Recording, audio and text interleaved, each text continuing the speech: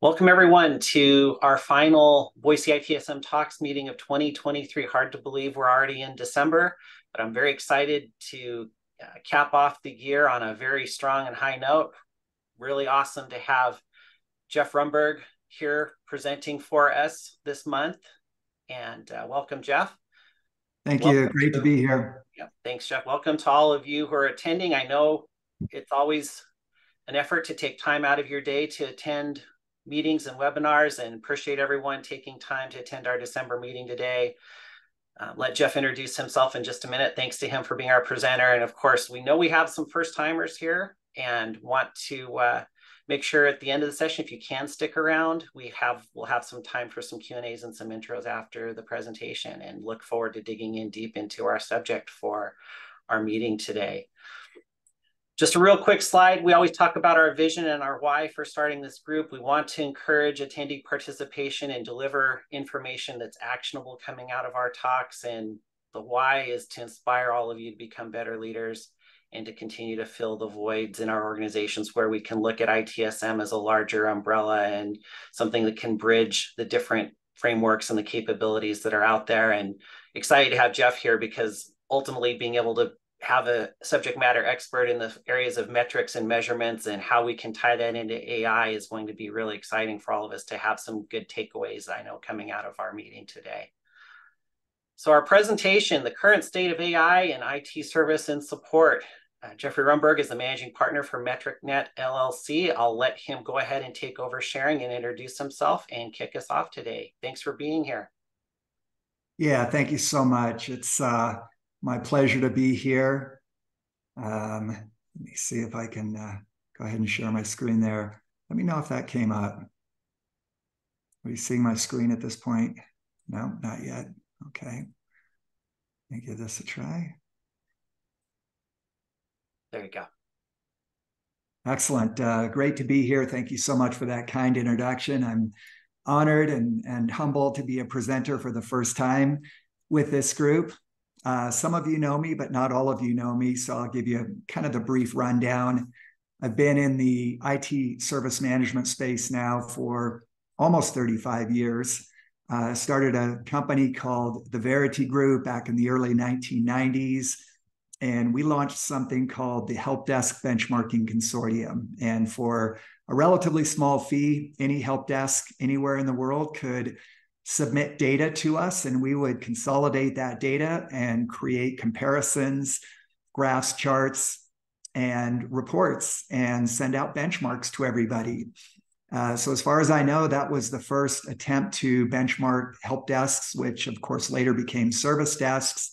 Uh, we later expanded the practice into contact centers, desktop support, and field services. And then at the uh, end of 1999, uh, had an offer from Gartner uh, to purchase the company, and I agreed to that. And so on the last day of 1999, I sold my first company, the Verity Group, to Gartner and took a position there as the uh, global director of their IT benchmarking practice. So I stayed at Gartner for a number of years and uh, ran their benchmarking practice. But uh, around 2005, 2006, I got the itch to go out on my own again. So I founded uh, MetricNet. Uh, same products, um, service and support benchmarks, desktop support, service desk, field services, as well as contact center benchmarks. Uh, however, a very different uh, business model this time around. We streamlined the process, uh, made it lower cost for us, and hence we were able to drive our prices down pretty significantly. And uh, we're now uh, the number one provider of service desks, desktop support, field services, and contact center benchmarks uh, in the industry. So we've created a huge database um, of uh, thousands of IT service and support organizations. About AI, current state of AI. And everything you see in here today is empirical in nature, meaning that it represents our observations in the industry, how the industry has evolved, and how AI and machine learning is transforming the industry and will continue to transform the industry uh, for many years to come. So, without further ado, uh, let's dive into the presentation. And I'm going to start at a very high macro level. We're then going to drill down to the more tactical micro level implementation of AI and machine learning. Then we're going to come all the way back up to this macro level and talk about what the implications are for IT service and support and AI and machine learning going forward. Now, our global economy is about $85 trillion, and that represents all goods and services. So, all the agriculture, all the computer manufacturing, all the computer services, all the business services, all the transportation, everything globally. Uh, the GDP is about 85 trillion dollars. Now, um, the plurality of that, roughly one third, is North America. Not surprisingly, uh, the second largest concentration would be Southeast Asia, and then we've got 7% in Japan, about 19% in Europe, and, and so on. Now, the way we break that down uh, starts to become interesting because IT is more than 5% of the total. It's about 7% of the total. So we got about 5 trillion of that 85 trillion global GDP represented in information technology, everything from managed services you know who the big names are the IBMs and the DXCs and the Genpacts and the Wipros and the TCSs of the world. Uh, everything from the services to the hardware and the software, it's a big, big industry now. So about 7% of the total global economy. Now, if we drill down still further, IT service management is about 1.5 trillion. So that's about 2% or not, a little bit less than 2% of the global economy. And that's all IT service management. It's not just service desk and desktop support and field services. ITSM, of course, is broader than that, but it's a one and a half trillion dollar market. And if we think about IT service and support, the aforementioned service desk, desktop support, field services, that's about a $250 billion market. So a good sized market. Uh, and it employs about 7 million people worldwide. So that's what we're going to be talking about today is this $250 billion market that employs 7 million people uh, worldwide. Now, like all industries, uh, the origins of this industry were fairly humble. This photo was, um, I think, taken in the 1950s or 1960s. I don't know the exact date, but it's a NASA data center, and you can see the IBM mainframes humming away in the background. And there's two red circles on this chart. Uh, those circles are mm, uh, showing the rotary dial phones that represented the early help desk.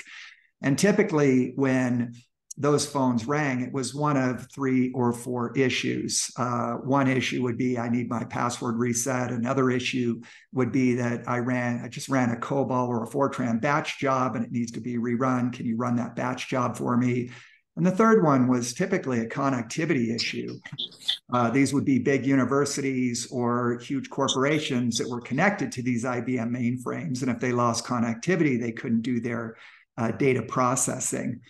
Now, what's notable about that is that password reset way back then was the number one category of ticket in uh, the service desk, what they called the help desk at the time. Today, all these years later, 60, 70 years later, believe it or not, it's still the number one category of ticket. We've come a long ways, but in many respects, um, there's a, still a lot of low hanging fruit. And some of that low hanging fruit would be represented by uh, easy, uh, easy to extinguish uh, incidents like password resets, uh, Microsoft Office, Outlook. Uh, some of these can be automated away uh, quite easily. But yeah, password reset, number one category ticket way back then when this picture was taken, and still today it represents more than 25% of all tickets. And the good news is they can be, uh, the majority of those can be automated away through RPA. There are various RPA, meaning robotic process automation, as well as various other tools. It doesn't actually require machine learning to automate uh, the user authenticated password resets. But this is what the early uh, help desk looked like. And uh, of course, we've come a long way since then. If we look at the history of IT service management over the last uh, little more than 50 years, as a discipline, IT service management um, was invented, for lack of a better word, in 1972. That was also not coincidentally when we started to see the large scale deployment of ACDs, automatic call distributors, and VRUs, which is voice response units. And so we started to see automation of these um, contact centers and to a lesser extent, uh, the help desks. And then in 1980, we started to see some uh, remote tools, uh, benchmarking, the introduction of ITIL in 1985 under the government of Margaret Thatcher in the UK. They were trying to figure out whether or not they were getting value for the trillions or the billions that they were spending on information technology. So they invented this discipline called ITIL, which used to be called the Information Technology Infrastructure Library. And then we saw kind of a Cambrian explosion in 1990 of you know, knowledge management, self-help, self-service. The first HDI conference uh, was in the early 1990s, and I was a speaker at that conference. It was at the Moscone Center in San Francisco, and uh, to my knowledge, I'm still uh, the only person that's ever spoken at every single uh, HDI uh, event. So I've had the privilege and the honor of speaking at uh, all of their national events since the first one in San Francisco. Uh, towards the end of the decade, we started to see the adoption of chat, and then uh, HDI certifications began around the turn of the century, 2000. Um, IT service management, uh, ticketing systems, the early systems like Heat uh, and Ben, ben Data, and uh, some of those systems started to become more full featured. This is when you know ServiceNow came of age, Remedy BMC, uh, Cherwell, some of these tools, they started to become more full featured. They weren't just ticketing systems. They were they were systems that incorporated uh, ITIL uh, and other uh, processes. And so we saw a massive maturation of the ITSM systems. And by 2010, there was a lot of focus on shifting left because organizations uh, recognize it by shifting tickets to the left, and I will show you a diagram on this, you can greatly reduce your total cost of ownership and also improve the customer experience pretty significantly. ROI started to become fairly important, which was a good thing because historically, IT service and support was viewed as nothing but a cost center. However, most support organizations, unbeknownst to them, are actually creating value through shift left and by deflecting contacts or tickets into lower cost channels uh, and also returning productivity to end users. And we can actually quantify all these things and we can calculate an ROI.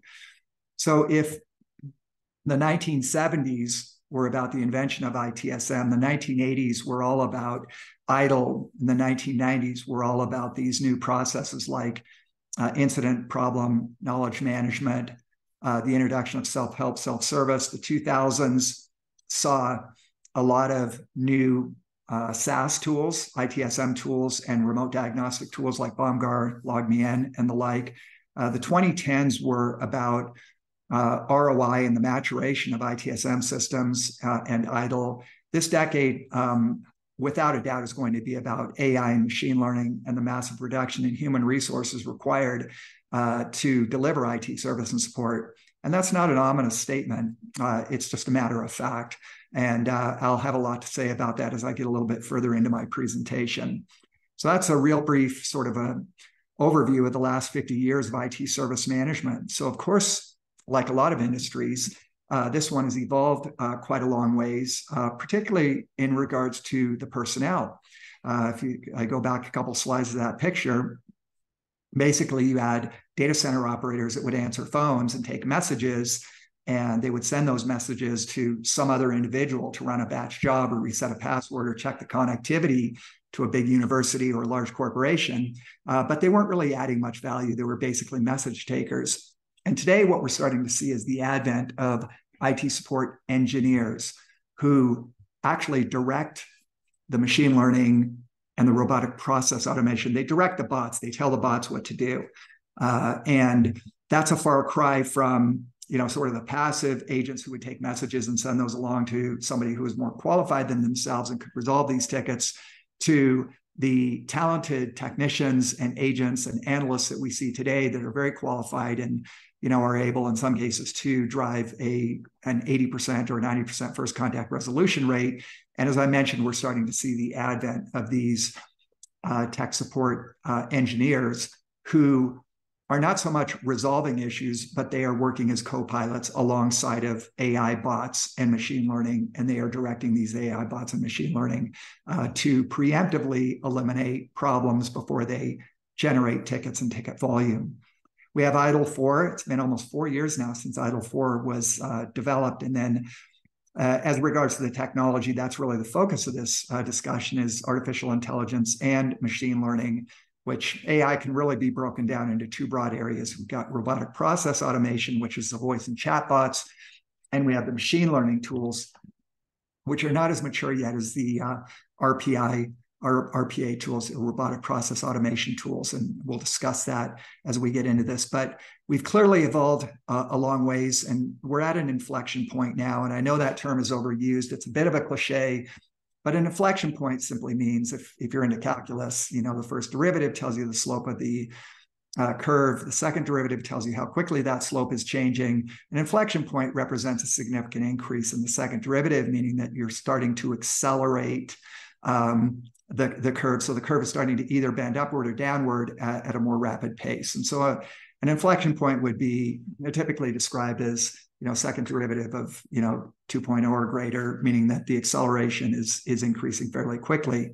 Now, what are the manifestations of this? Well, um, AI is increasingly gaining social acceptance, especially in IT service and support. It's not feared the way it used to be. That's a significant driver of the adoption of AI. Uh, advances in data science, you've heard the term big data. Well, uh, big data is making possible AI and robotic process automation, massive computing power, and the reduction in the cost of that massive computing power. And then, of course, every support organization always experiences cost and quality pressures.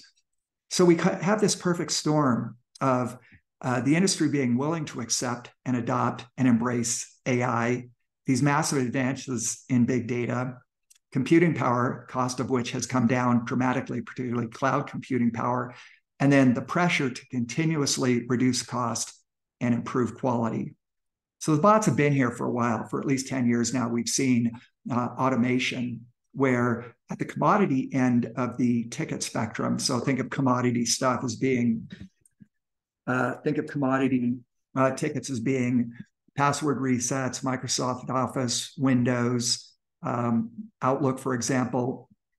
A lot of that can and has been automated away now.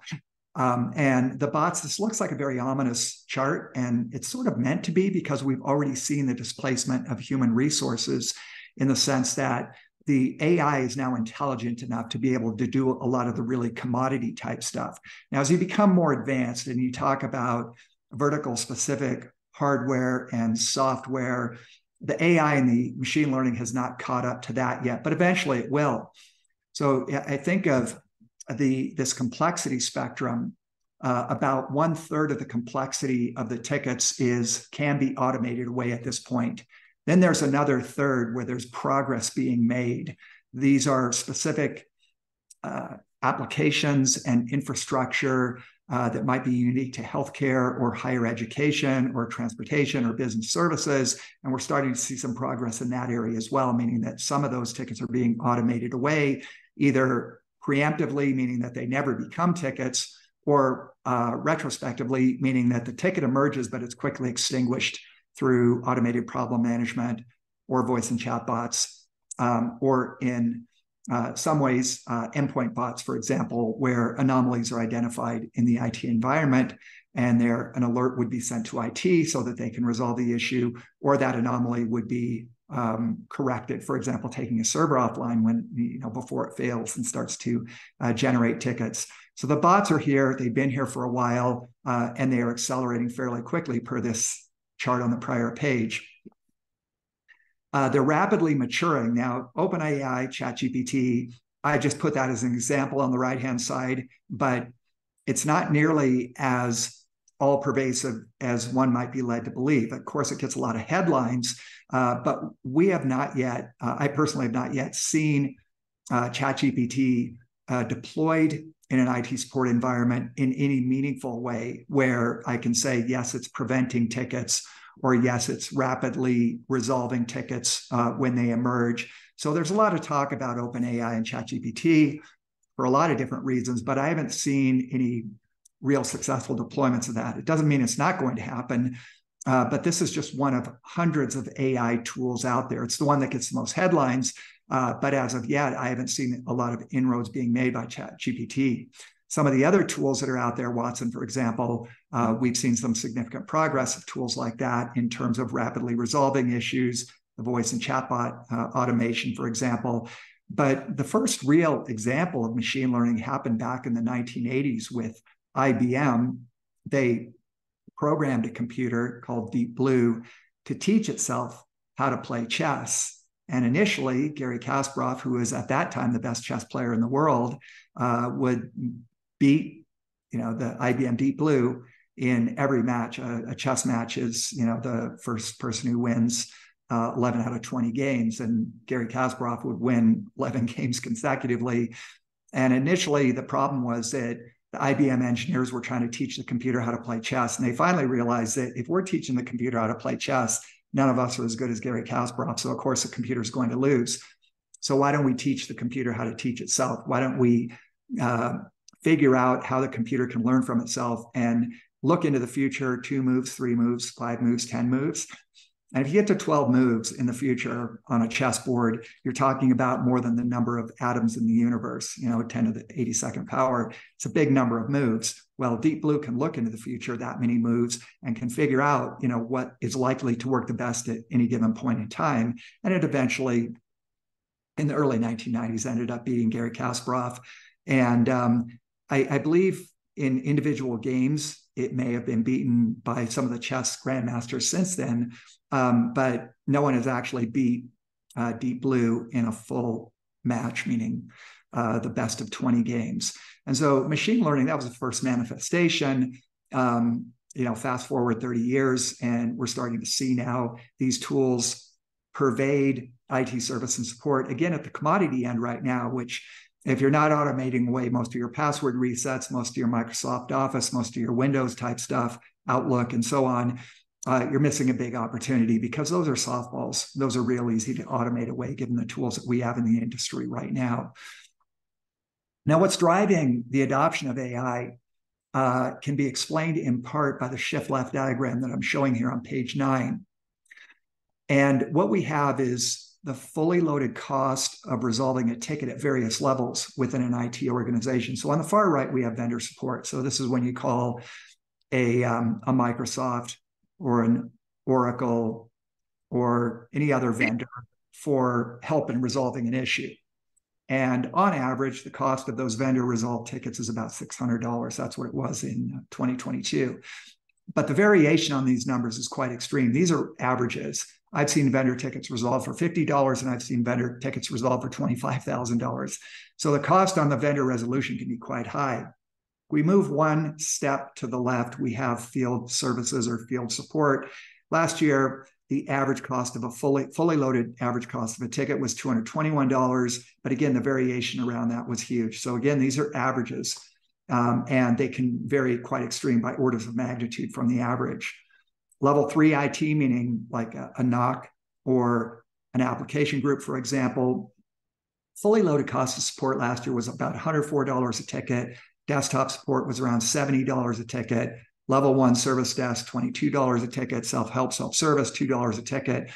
Problem management, I put the number zero there, but the reality is you're actually creating value there. If you can prevent a problem from uh, from disrupting a user's productivity, you're actually creating economic value. We just don't know what that you know prevented value is or what the value of that prevention is. So I, I, just put the number zero there as a placeholder. The reality is we can't measure what was prevented, and this is true of any preventive measures. Um, you know whether it's fire prevention or accident prevention or anything like that. Problem management is meant to eliminate tickets uh, from a root cause perspective, and in so doing you prevent the largest cost of that ticket, which isn't the the internal cost of uh, eliminating that ticket, it's the productivity impact that it has on the end users. If you can prevent that productivity impact, the negative productivity impact to the end user, then you're creating positive economic value for the organization. Now, it was only recently that we put the level minus two on this chart because we started to see credible examples of AI and machine learning in this environment that would preemptively seek and destroy or search and destroy, identify anomalies in the IT environment, and either send an alert to IT so IT could resolve a, an issue before it started to generate tickets, or it would preemptively resolve the issue. It might take a machine offline, for example. It might reboot a printer, could do a lot of different things. But this is what the TCO, total cost of ownership, looks like when you add up the volume of tickets at each level of support and the fully loaded cost of a ticket at each level of support. You get your TCO, your total cost of ownership. And as you can see here, if you move a ticket, say from desktop support to level one support, you're going to save, you know, $45 a ticket. If you move it from vendor support to level one support, you're going to save on average, you know, $575 per ticket and so on. So shift left is a powerful driver in that as you shift left, you resolve tickets more quickly, but more importantly, you reduce your total cost of ownership. And that's uh, perhaps uh, the biggest driver of the adoption of AI and machine learning is the ability to shift left, resolve tickets more quickly, and then ultimately get to level minus one and level minus two, where you fall off the left-hand side of this chart and you reduce your TCO by preventing tickets altogether. That's what level minus one is. We used to call it root cause analysis. Now ITIL's given it the fancy name of problem management, but that's really all problem management is, is root cause analysis and elimination of the drivers. Now, I, I mentioned earlier the social acceptance of uh, AI, and we did some research at MetricNet uh, not too long ago where we asked uh, a number of questions, but the three most important questions are, are going to be shown on this in the next two pages. Uh, they were actually statements, and we asked the individuals who responded whether or not they agreed with these statements. The first one was that my organization would benefit from AI problem detection and resolution. There were 217 that responded. And out of that, 63% either strongly agreed or agreed with that, which was a surprise to us. We didn't expect to have uh, so many positive responses. We also asked about automation and specifically ticket categorization. Many of you know that ticket categorization, that is properly assigning a ticket to a category, you know, hardware, software might be one category. You might go down further than that, talk about a connectivity issue or software bug, for example. But ticket categorization has been problematic in this industry for decades. And many organizations, the number one category of their ticket would be other, meaning that it's not assigned to any of the other categories. It's not uncommon for an organization to have, you know, 50 or 100 or 200 different categories and subcategories of tickets. But many agents and technicians don't take the time to properly categorize the ticket, so they stick it in the bucket of other.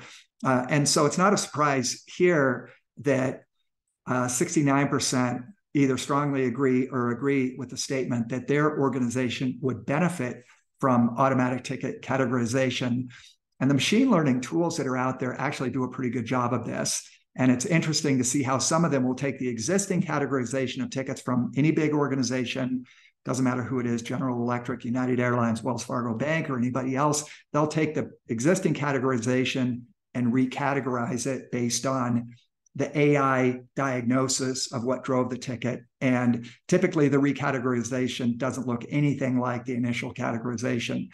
And that's both good and bad the good is that knowledge and problem management depend in large part on the quality of the ticket categorization. It's bad because most ticket categorization isn't very effective. But the good news is machine learning is making that far more effective. We also asked if you could have anything you wanted or make changes you would like to make in IT service support, what would be number one on your wish list? Well, 26% said we want AI and machine learning Secondly, some communication issues. Thirdly, better knowledge and self service. Better knowledge and self service are both dependent upon the maturation of AI and machine learning in the IT environment. So these three slides are meant to represent the sea change that I showed on this chart right here, which is the social acceptance of AI that was a prerequisite to seeing the adoption of AI and machine learning in the IT environment. Combine that with the uh, big data, advances in data science, low cost computing power, cost and quality pressures, as manifested here on the shift left diagram. And you have a perfect storm uh, for the large scale adoption of AI and machine learning. Now, of course, I'm always asked about job losses. And, in fact, um, Angela, um, our company president, she's on this call. She and I were in uh, Dubai a couple of years ago, and I did a presentation on AI and machine learning. And at the end of that presentation, there was a journalist there that asked me a question, and um, she said, uh, it, at least in my mind, it was the, the tone was somewhat accusatory, and she said, "What are you going to do about all these job losses that are brought about by AI and machine learning?" And she didn't say what is the industry going to do about it? She said what are you going to do about it? As though it was my responsibility to figure out you know how to prevent these job losses. Uh, fact is there are going to be a lot of job losses. I, am project, uh, projecting that probably 90% in the next uh, 10 years. Um, and you know my answer to this journalist was the same answer i'll give you here which is that this first of all we can't stop it so some of you have probably heard in the last few months that there are industry supposed, supposedly industry experts on AI and machine learning that want us to take a pause on the deployment of AI and machine learning, which is foolish and ridiculous. That won't happen. Uh, the you know innovation doesn't stop because people feel the need to figure out what are the long-term implications of this technology. They didn't stop when semiconductors were being developed, when computers were being developed. Uh, they didn't stop when you know language processing was being developed, and they're not going to stop now. So this idea that we're going to take a pause and figure out you know how to put guardrails around AI and machine learning that just isn't going to happen. There will be negative consequences. We know that. Um, and I'm not talking specifically now about job losses, but we do know that there will be job losses. But it shouldn't be a surprise to us because this has been going on for 10,000 years. You know, 10,000 years ago, humans were hunters and gatherers running around in the forest looking for mushrooms and acorns, but eventually they figured out agriculture. They started planting wheat and corn and other crops, and small villages started to build up around these agricultural enclaves, if you will. And so humans figured out agriculture and they got out of the cave and they got out of the you know subsistence style of living you know looking for mushrooms and acorns and they started to plant rice and corn and wheat and other crops. And eventually they figured out that animals might be able to, domesticated animals could help them farm, plant, and harvest the crops. And then around 1800, at the advent of the Industrial Revolution, we started to see large scale machinery being used in agriculture.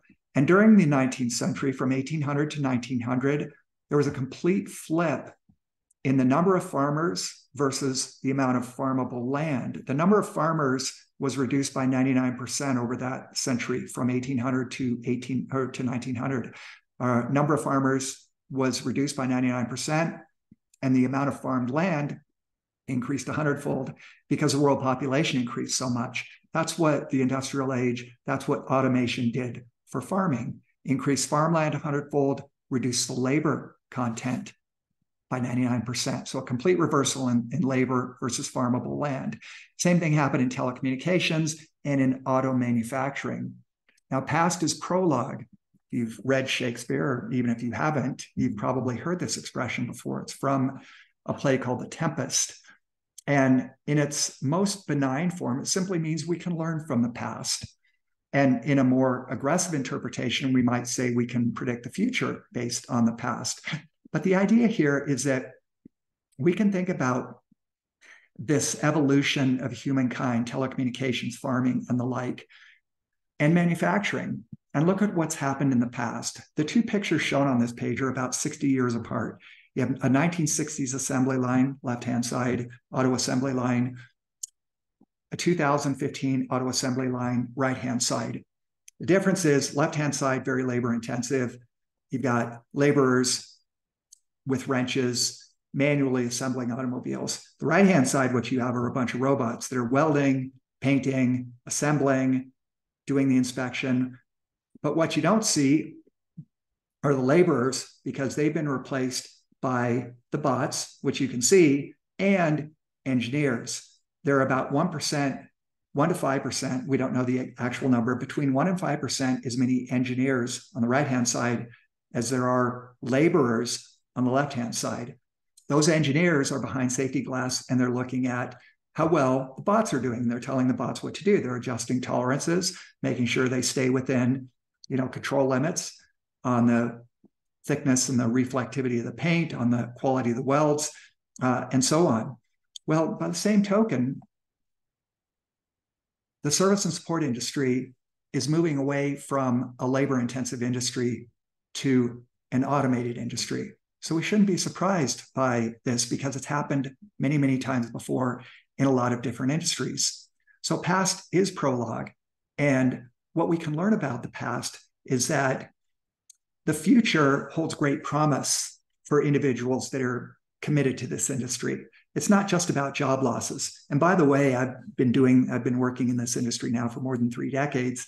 I've never once seen layoffs in IT service and support, whether it's for level one technicians, agents, desktop support, field services. The reason is that this is a high turnover business.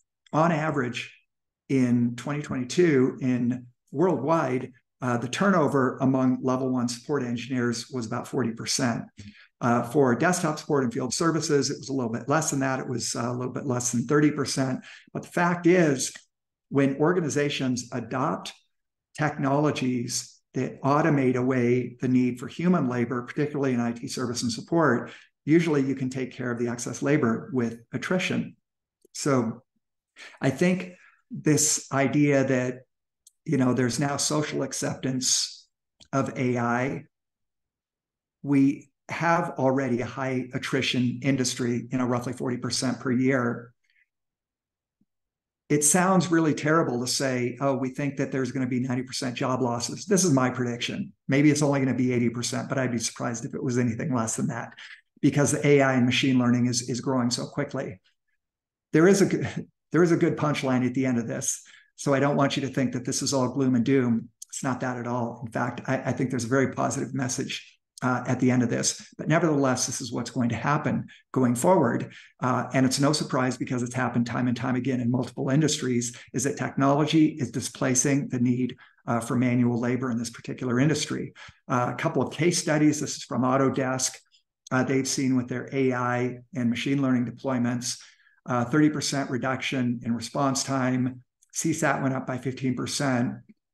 Handle time labor per ticket goes down by 40%, and their FCR is at 90%, which is an extraordinary number. So when you talk about better, faster, cheaper, higher quality, quicker resolution times, lower total cost of ownership, that's the holy grail. That's what you're after. And any successful AI deployment is going to make your environment better and or faster and or cheaper. If it doesn't move the needle on one or more of those three dimensions, it hasn't succeeded. So better, faster, cheaper is the same thing as cost, quality, cycle time, uh, same thing. Uh, and you've probably heard it before, but in reality, a successful IT deployment of AI and machine learning has to move the needle on one or more of the dimensions. Typically, we're seeing movement in all three dimensions better and faster and lower cost over time. If we look at Microsoft, they've used AI to drive labor out of tech support. They've improved CSAT by 20%. There's a common misconception that as AI and machine learning begins to uh, take hold and uh, saturate IT service and support, that it's going to reduce the quality of the customer experience. Um, and in some cases, that might be the case, but in general, it's not the case. In general, those organizations that are successful at deploying AI and machine learning are seeing improvements in the customer experience uh, largely because the resolution time is quicker and the first contact resolution rate is higher. Uh, 40% now without human intervention for AI driven tech support at Microsoft. Um, Watson is the branded AI tool of IBM. It's not a machine learning tool, it's a rules based tool. So it's what we would call our RPA, robotic process automation, voice and chatbots. They've reduced um, the time that IT professionals spend on repetitive tasks. So it's not just service and support, but all repetitive tasks by 50% and a 70% decrease in mean time to resolve for issues. Now that's huge because during that mean time to resolve, uh, one or more individuals is going to see their productivity impacted typically doesn't mean that you are out of business while you're waiting for a ticket to be resolved, but it does mean that your productivity is going to be impacted to a certain extent. And if you can reduce that mean time to resolve by 70%, you are also reducing the productivity impact by at least 70%. So this is a this focus right here is on the faster, you know, the better, faster, cheaper. We're talking about um, reductions in cycle time here, but those reductions in cycle time do have an impact on total cost of ownership. Now, one of the big implications of AI and machine learning, and I alluded to this earlier, is that we're going to see support agents and technicians evolve into support engineers. What's the difference? Support agents and analysts tend to be very reactive. They're focused on return to service. not root cause fixes, but quick fixes and return to service. They're preoccupied with service levels, speed of answer, mean time to resolve, for example. Schedule adherence is a big driver of compliance with the agents and the technicians. On average, starting salaries in North America for a level one support agent are about 45K a year. By contrast, the support engineers we're starting to see right now, primarily in places like Santa Clara, San Jose, and elsewhere, they're much more proactive and strategic. They think prevention, not resolution. They look for root cause fixes through uh, formal problem management. They're obsessed with eliminating tickets, not just resolving and returning to service. They want to get rid of tickets altogether, reduce ticket volume. And they focus on project work, engineering projects that are designed to eliminate tickets from a root cause perspective. And the starting salaries, part of it is the location, mostly you know Silicon Valley, um, but the starting salary is around 110k uh, per year. This is a transformation that we expect to see happen as IT service and support goes from labor intensive to automation intensive, much like the auto industry did over the last half century. Now, some of the things we expect to see along with that are the support engineers who are going to thrive and succeed in this environment are going to think like business people, not like technicians, um, not like IT people. They're going to think and act like business people. They're going to understand the metrics of service and support, and more broadly, ROI, which is a metric return divided by investment. Benchmarking is increasingly being adopted. You know, as recently as two years ago, only about 10% of IT service and support organizations would benchmark annually. That number has roughly doubled over the last couple of years, and uh, it's gaining rapid adoption because it is a low cost, easy to deploy tool and very easy to act on in terms of identifying opportunities to become better and faster and cheaper. So we're starting to see that um, uh, pervade the culture. And then lastly, an understanding of what the business case for AI and machine learning is. And I'll talk at, at, length about that business case momentarily.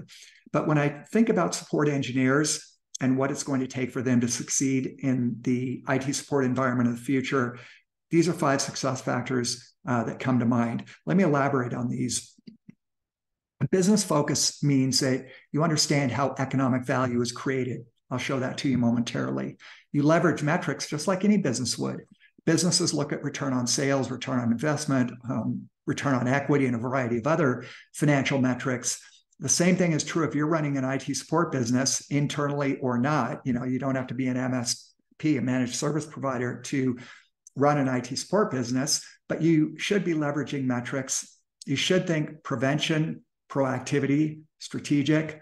Under process aware simply means that process drives performance. And as processes mature, performance also uh, matures and improves. And then internal messaging is about making sure that the, your value proposition is well communicated, well understood. And a big part of that value proposition is the ROI of service and support. Being able to calculate that and demonstrate that is key to success uh, going forward.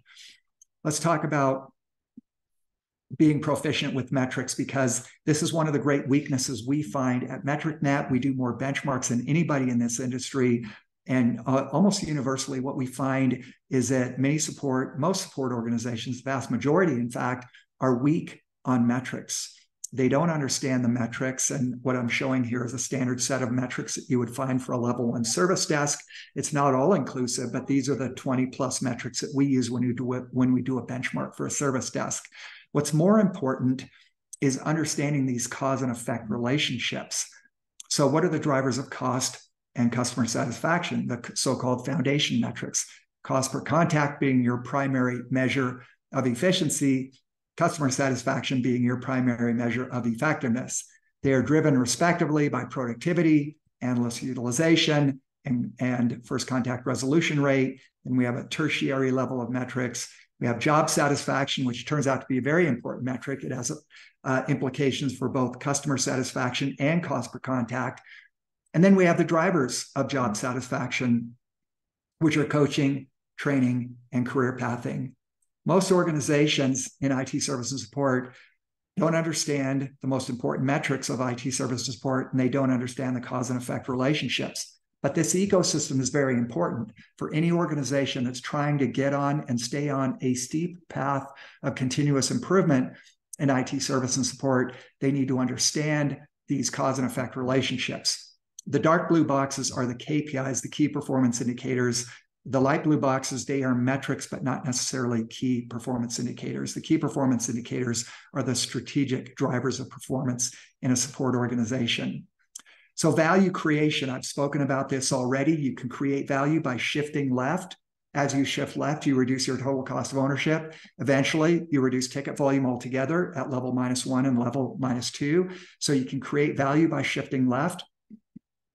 You can also create value um, by changing your channel mix over time. Over the last 15 years, we've seen the percentage of inbound volume in service desk decreased dramatically from almost 80% to uh, about 30% over the last 15 years, while at the same time, the chat volume has gone up, the web ticket submission volume has gone up, the email uh, is a dying channel. It's only about 2% of the total now.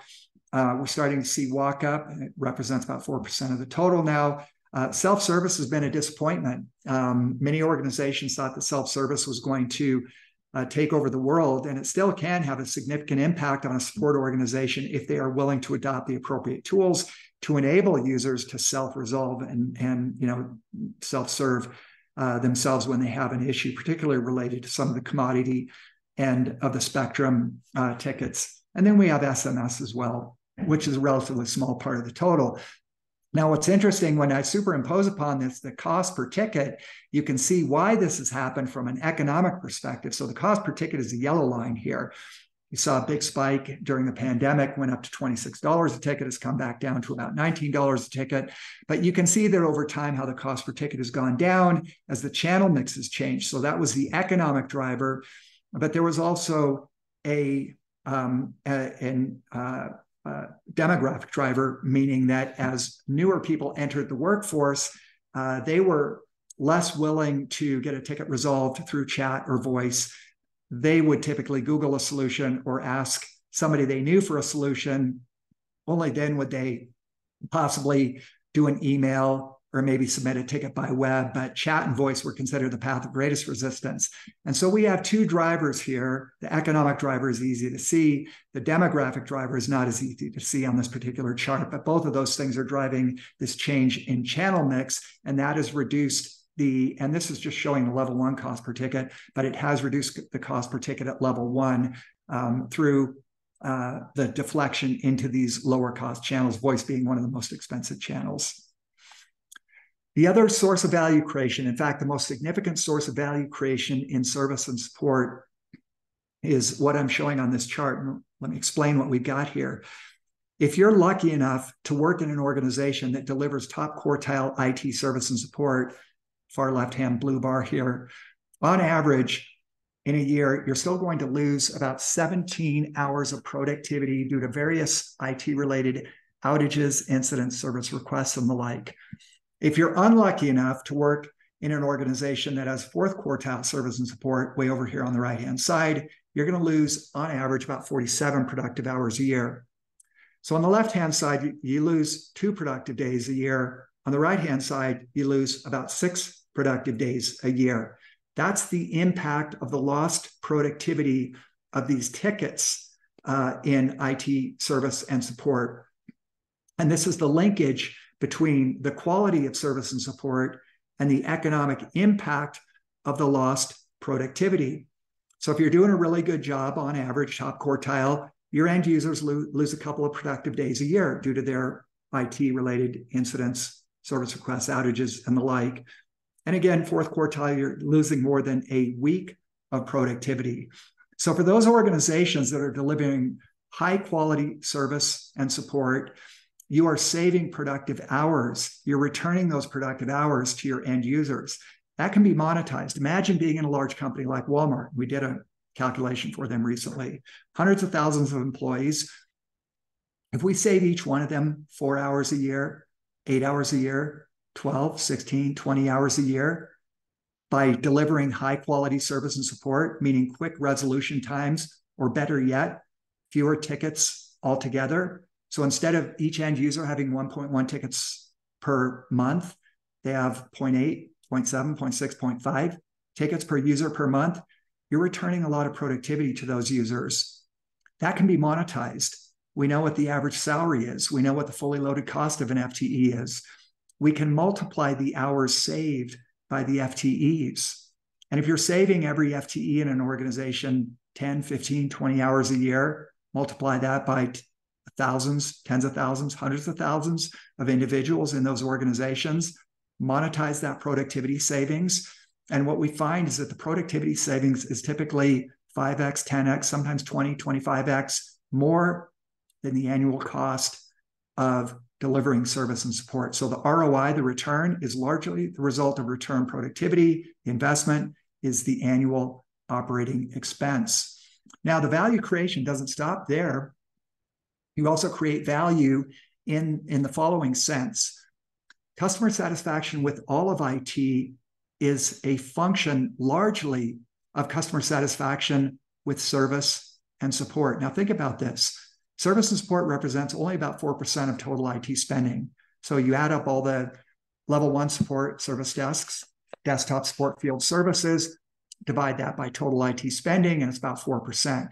Yet that 4% has the ability to reduce, improve user productivity dramatically, reduce total cost of ownership through channel mix, and drive customer satisfaction with all of IT, not just service and support, but all of IT. This survey essentially asked more than a thousand organizations, what drives your opinion of IT? Well, the number one answer was service desk. The number two answer was desktop support, which makes sense if you think about it, because this is where end users have their most interaction with IT.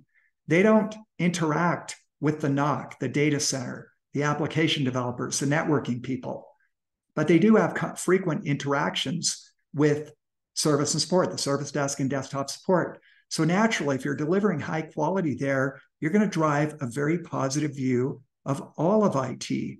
And so when we coach our executive clients, we put this chart up without much explanation. We simply ask them, you know, what does this mean to you?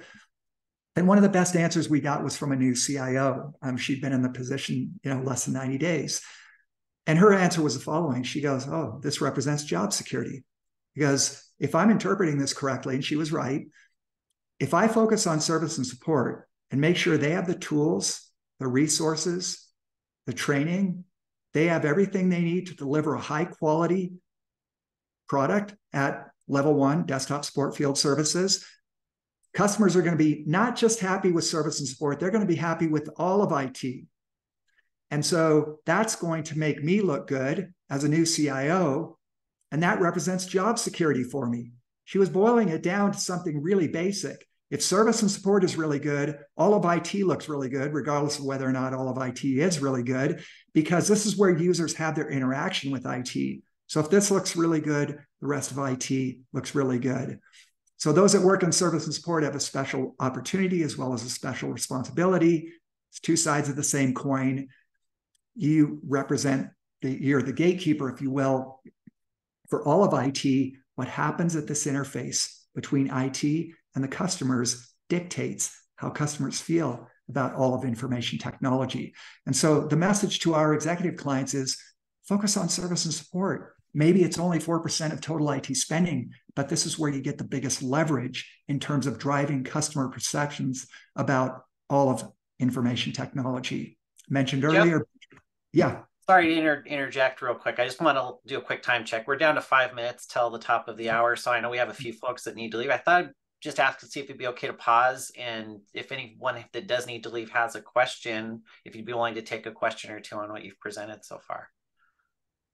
Absolutely. And then there's a, let me open the chat box because it looks like there's a couple chats there and they may have some questions in them. For uh, folks that maybe need to jump here at the top of the hour, anybody have a question that they'd like to ask or any uh, comments so far? we have a couple folks that said they couldn't stay for the full um, extra time. Don't be shy. Jump in or raise your hand. Either is fine, or, or type something in the chat box if you'd like to. Uh, one question I had um, was around you. Uh, the one chart there talked about and still showed voice as being, I think, the highest percentage of support contacts, but certainly chat coming up, you know, growing and all that. So my question is, how is AI going to impact or may impact those voice interactions in support? Uh, voice bots, chat bots. Um, keep in mind when when I show the voice channel, what I mean is the human assisted uh, voice channel, meaning you're talking to an agent, not not a bot. Um, and so these all represent um, human assisted channels. So um, a ticket that uh, is uh, a voice ticket means that you've got an agent talking to a customer. A chat means that you've got an agent chatting with a customer. So none of the automated channels but these are all human assist channels. Is okay, thanks. Here, yeah. But but but then the kind of the follow up then, but what we're seeing is AI is definitely going to um, impact and do like you said, the chat bots is going to handle a lot of the FAQs mm-hmm. and and even more complex things and some of the um, web submitted, all that. Is that mm-hmm. right? Yeah. So this diagram won't change that much for the human assisted tickets. But what's going to happen is that if you think about the pie chart of human assist, you know, being once, you know, part of the pie chart, and then you think of AI and machine learning as being another piece of it. As that slice of AI and machine learning grows from 1% to 5% to 10, 20, 30, 40, 50%, in fact, there's a case study at the end of the presentation that shows an organization that was going through an AI transformation that expected within three years to have more than 50% of their human assisted support automated away. Um, that uh, that automation support you're replacing a variable human labor cost with a fixed technology cost that gets amortized over a large number of tickets. And so this diagram for human assist tickets won't change that much going forward. It will continue to evolve. You know, voice will become less and you know, walk up and web submit will will grow. But if your ticket volume goes from, and we did this for a large insurance company in Texas, um, in within one year, they went from 160,000 tickets per month to 80,000 tickets per month, largely as a result of automated problem management and some endpoint bots. They reduced their ticket volume by 50% in one year. This is uh, a, a snapshot of what the labor and channel looks like for human assist but it doesn't show the reduction in ticket volume through automation, both robotic process automation uh, and machine learning. So I expect these trends to continue for the human assist tickets. But what I'm not showing on this chart are is the growing percentage of AI and machine learning tickets where human resources will be replaced by bots, you know, voice and chat bots, and eventually machine learning and endpoint bots, uh, AI tools like that. And the amortized cost of that technology over the ticket volume that's reduced is far, far less than the cost per ticket of the human assist tickets. Thanks. Thanks. No, this is this your presentation and all this data has been very, very uh, enlightening. Thank you. All right. So I know again we're about at the top of the hour. Folks have to drop off. Uh, understand I'm going to continue and let Jeff finish his presentation. We'll make sure we get the recording posted, and the link to that will be sent out out on Meetup and LinkedIn, so folks can catch up with with uh, the end of this if they had to uh, jump away uh, here at the top of the hour. But uh, with that, uh, I'll go ahead and let Jeff continue. Yeah, I just want to point out that uh, at the end of my presentation, and I, I, didn't intend to go through these slides, but I, I, wanted to leave them in the presentation for those that might want to look at a sample AI business case. This was a large, you would know the name of the company if I gave it to you. They're in the Fortune 100, large corporation that was largely agent assist. You could see, for example, that 70% phone and IVR. IVR is interactive voice response. 26% was a self-service portal, and then another, you know, 4% um, chatting with agents, and they were envisioning what was called a touchless uh, support desk. They wanted to get away from human-based support entirely. They're now, you know, in the second year of this three-year transformation. They're ahead of schedule, but they expect to reduce their ticket volume per capita by 50% at the end of next year.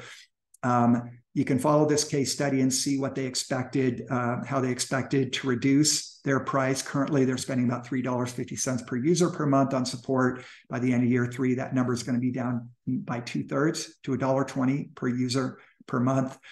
Ticket volume changes dramatically. Agent Assist, blue line going down, robotic process automation, and ticket reduction through idle. And in fact, um, I'll make a point here, which I didn't make earlier um, ITIL and the big three ITIL processes in level one support are uh, knowledge, incident, and problem management.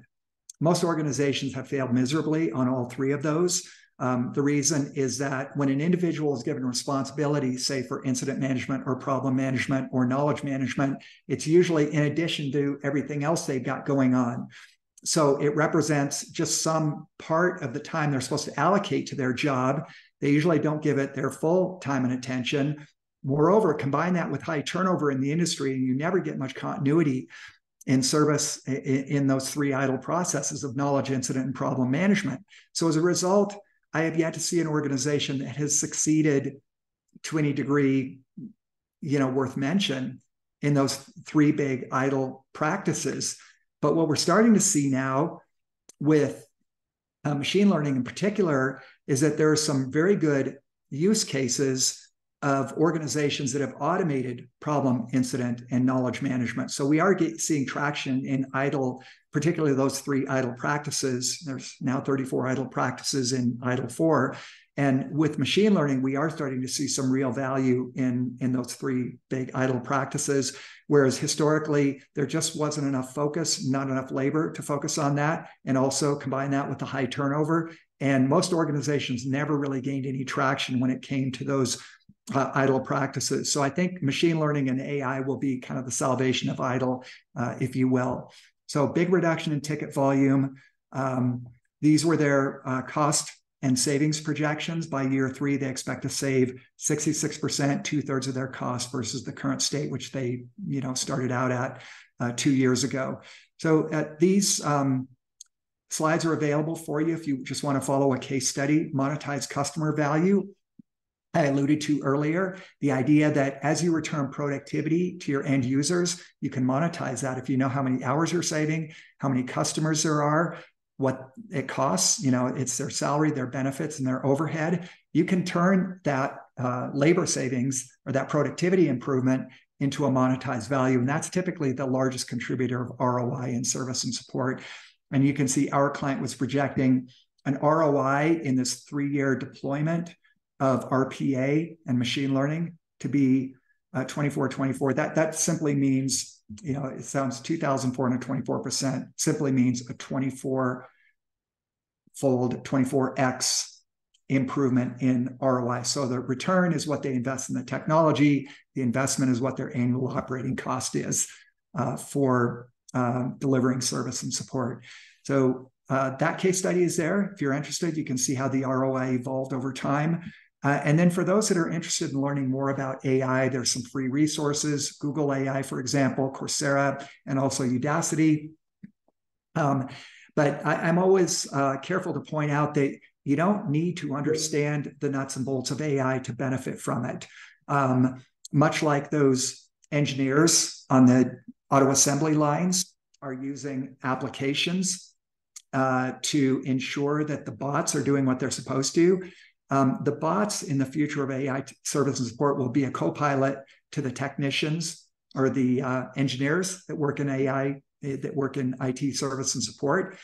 And you, they will teach you how to use them, is what I believe is going to happen. Nevertheless, there are individuals that do want to learn more about uh, AI and machine learning, specifically as it comes as it relates to IT service and support. And there are these free resources available to you. So um, I'm happy to take additional questions. I didn't want to cut the Q&A session short, but uh, um, before I take those questions, I just want to say uh, thank you to Ryan and Jeff of the ITSM group there in Boise for inviting me to speak today. It's a pleasure and an honor to be here. And if you have additional questions, I'll stay on uh, the webcast as long as you would like to ask questions. Yeah, honor to have you. And this has been a fantastic presentation. Really appreciate taking the time to be here. There's one question that Judy put into chat which I don't know if you saw Jeff around um, asking who paid for the implementation in your uh, case study scenario there for the AI and the tool cost, process cost, supplier org. I don't know if you want to come off mute, Judy, and, and elaborate more on that, but uh, that's one question I see that's out there. Mm-hmm. Yeah, you, you, got the hard Jeff, my, oh. yeah, Jeff, my question is really around in the supplier uh, customer organization relationship um, who actually paid for those costs. I know I, I really like seeing the decrease in cost to the customer, mm-hmm. but uh, did was that all inclusive or were those costs uh, held somewhere else as part of the project? Yeah, it was all inclusive, uh, Judy, in the uh, what I would call the hard costs. So when you're purchasing hardware or software from a vendor, that's pretty easy to keep track of. Uh, and then if uh, a vendor is working with you to implement these technologies, you can keep track of those costs. But the myriad costs internally of individuals who work on these projects oftentimes is not tracked very well. And so what we're representing on these charts would be the uh, the hard costs that are relatively straightforward to track. So what are the vendors charging you? The hardware and software vendors, um, both for their product, you know, the SaaS products and the hardware, but also their implementation time. We can track that pretty easily.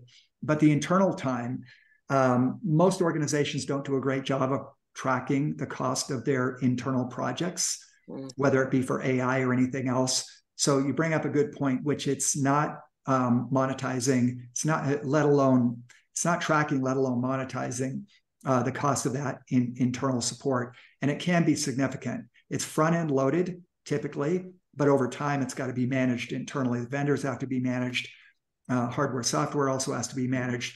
So um, your your point is a good one. I, I think if I'm understanding your your question properly, which is that there's a lot of internal resources that go into making these kinds of things happen, but they are typically the hours um, and then the monetized value of that is typically not tracked very well.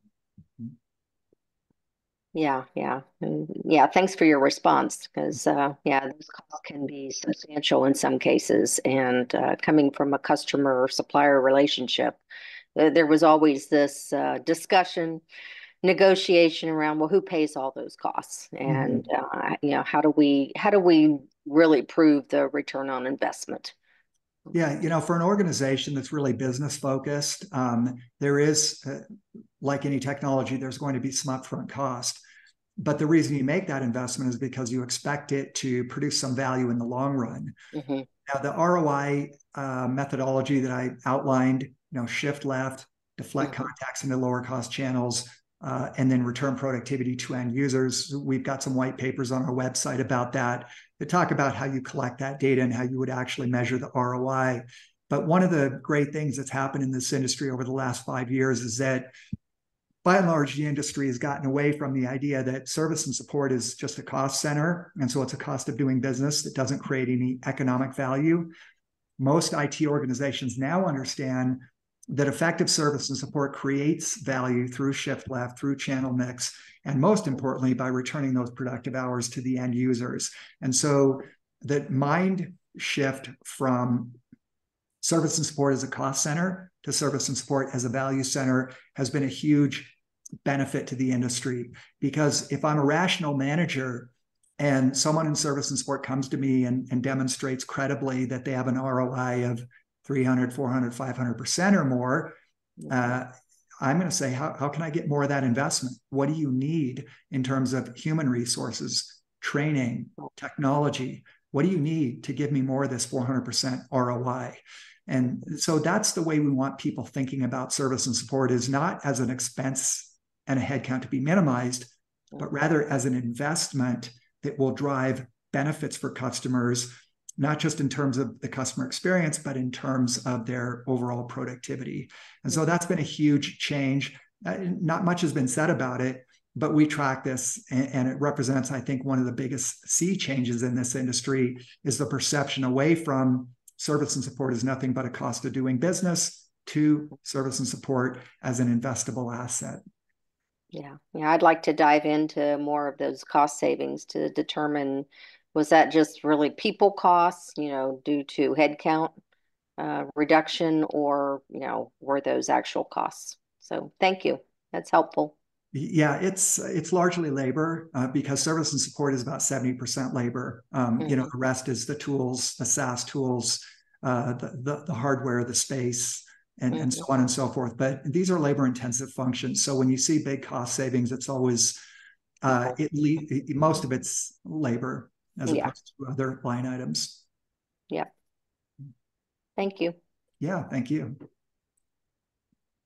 Any Does anybody else have any other questions? Yeah, just going to ask. I have one that I'll ask Jeff, which I was at the Service Management World conference here a couple weeks back and saw a couple of the tool demos and the vendors have with how they're starting to integrate AI into their tool suites and talking about you know some of the same concepts with ROI of investing and and having the tools continue to evolve. Where do you see the inflection point from that perspective, as far as where you think we'll really start to see critical mass with the ROI being realized as people either see their existing tools evolve to where it's adding that value and some of the things that I know you and I talked about ahead of this presentation, just with some of those prerequisites that need to be in place in order to take advantage of that. If you wouldn't mind speaking on your thoughts on those two areas real quick. Yeah, the RPA tools, uh, primarily the voice and chatbots, those are proven technologies at this point, and it's pretty easy to make the business case. In, in other yeah. words, the, the, highly positive ROI.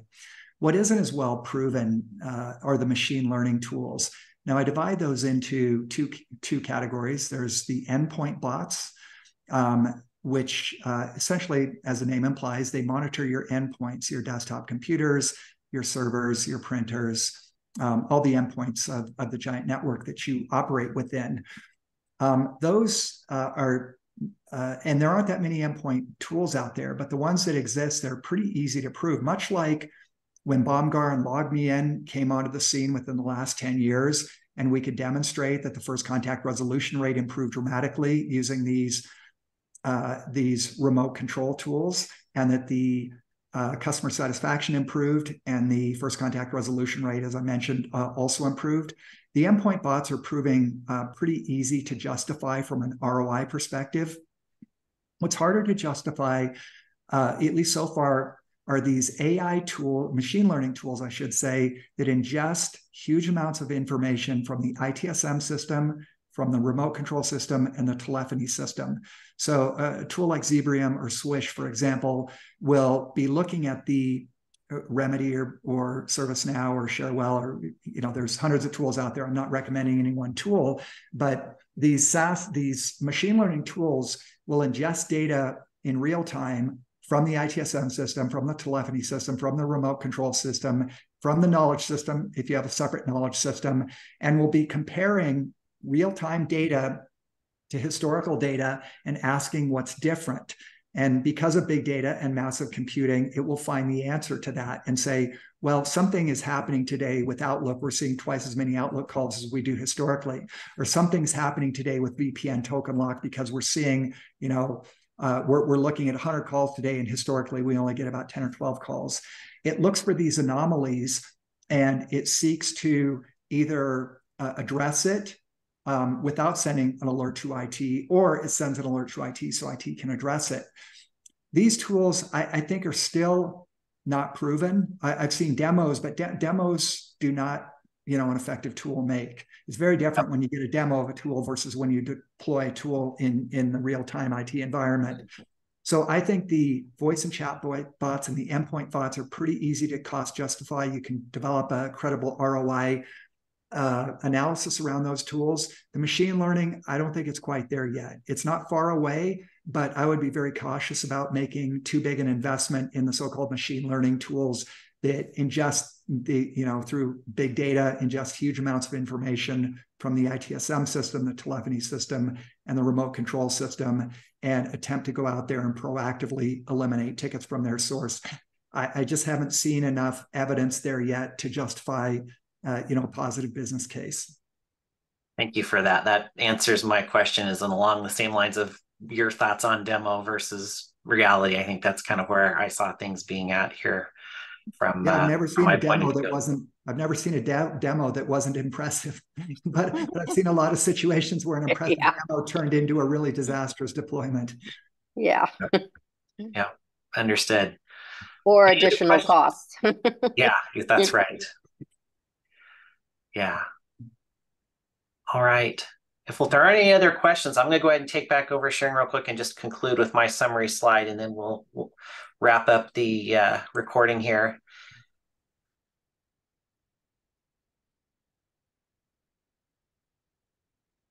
All right, so I'm just going to quickly show announcements. Our next meeting, I'm in negotiations with our next speaker to try and uh, get that lined up. I should have that done by the end of this week, early next week, targeting January 16th for our next meeting.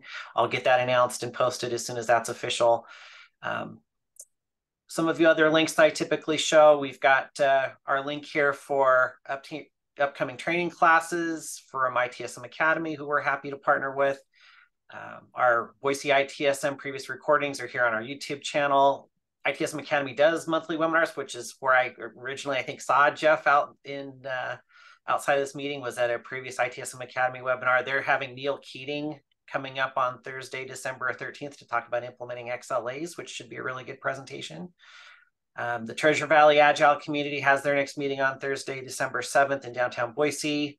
Um, events for PMI, Western Idaho chapter, um, link is here. And of course, encourage everyone to continue to connect with us on Meetup and our ITSM LinkedIn group.